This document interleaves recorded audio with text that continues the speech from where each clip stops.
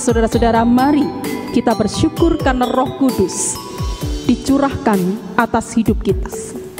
Selamat hidup dalam pimpinan Roh Kudus. Selamat menjadi orang Kristen yang kuat, yang berdaya, dan menjadi berkat.